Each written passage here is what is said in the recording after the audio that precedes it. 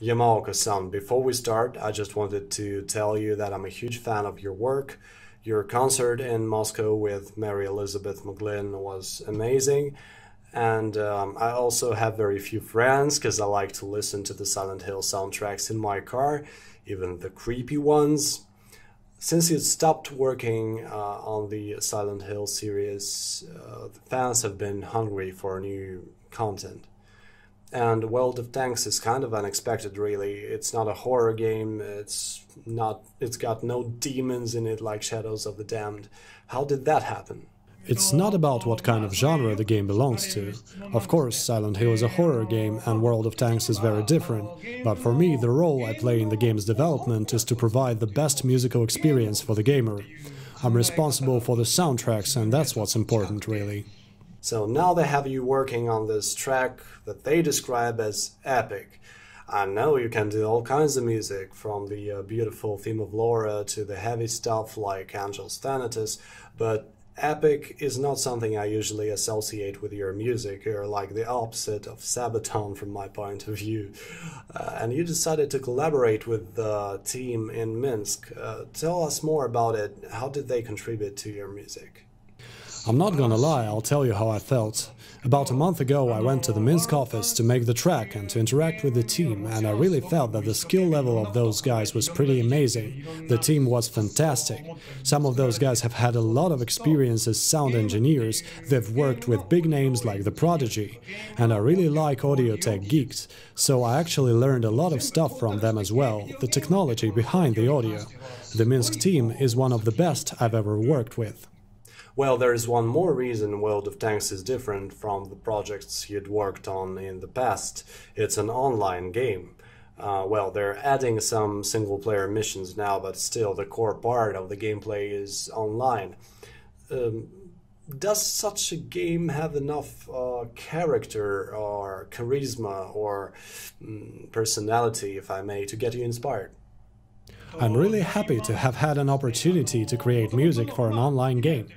I've been waiting for such an opportunity for a long time. And before World of Tanks, I worked on a project called Let It Die that featured online elements. I contributed to that game as sound director at Grasshopper Manufacture. But World of Tanks is a different type of game. It's a PC game, and I'm a PC gamer, so I was really interested in this project. Do you play World of Tanks yourself? I have the image of not being a big gamer, People think I'm more into music, but in fact I do love games. And I'm also trying to refrain myself from playing too much, because I have a very addictive personality. Originally, I'm a PC gamer who prefers RTS titles such as Age of Empires, and I play World of Tanks as well. I started with the PC version, then stopped playing, and recently started again on the console because I was working on Let It Die for PS4. I use Japanese tanks, I know they're not very good, but I want to support my country as a nation. Well, in one of your previous interviews, you said that Silent Hill is the work you're most proud of. Uh, but it's only because the fans love it. Um, is it only worth working on a project that is successful and gets a lot of love? For me, it's not really about what is the most successful product, but it's about what kind of work is more meaningful. I'm happy to contribute to the success of the game and to the happiness of the players that will be interacting in the game with my music. And because I'm also a player, I have a feeling that I'm really a part of the team and helping to bring World of Tanks to a new level. So it's not about how popular the product is. Of course, I love Silent Hill, there is a big fan base, and World of Tanks has a huge fan base as well, but making sure that the players enjoy the games they play is my goal.